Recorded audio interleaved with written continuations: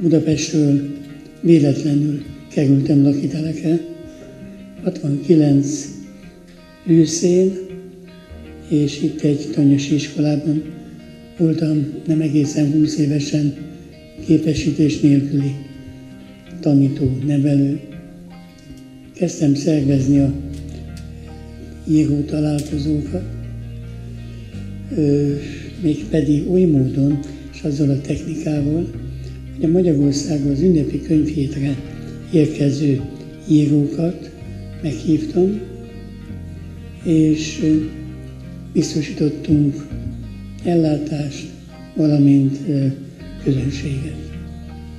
1971-ben Sütő András volt a vendégünk, 71-ben, és minden eszendőben az érkező külföldi vendégeket itt vendégül láttuk, kiugrású találkozón. Csodálatos estek, találkozások, barátságok, ők is találkoztak egymással.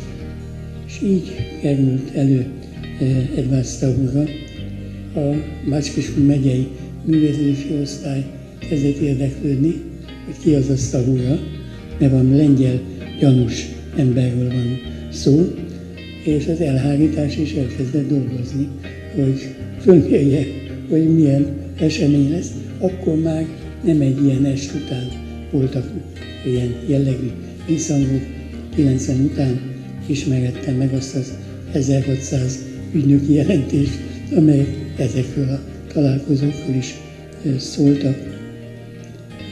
Döbbenetes élményem magad, ahogy gitározott, énekelt, ahogy szerepelt, és amilyen szeretettel fogták a lengyel barátai körben. Még 77-ben az Írószövetség ajánlotta lakitelket Staurának, tehát nem csak a Lengyel Intézetben, hanem az Írószövetségben, ahogy említetted, híre volt lakiteleknek olyan formán, hogyha valakit ide küldtek, ugye úgymond vidékre, akkor nyugodt lehetett az Írószövetség, hogy itt 3-400 ember összegyűlik, és rendkívül elégedetten, lelkileg feltöltőkbe érkeznek vissza a külföldi írók. Én egyébként Staurával Nagy Lászlónak köszönhetően kerültem kapcsolatba, mert az Európa Könyvkiadónak egy új szerkesztője akadt, aki, meg, akinek ajánlották Szavúra könyvének a lefordítását, ő pedig megkérdezte Nagy Lászlótól, hogy lengyelül tudó költői hajlamú ember tudna -e ajánlani, és ez a megtiszteltetés rám esett. Én számomra ez persze nagy riadalmat keltett a megbízatás.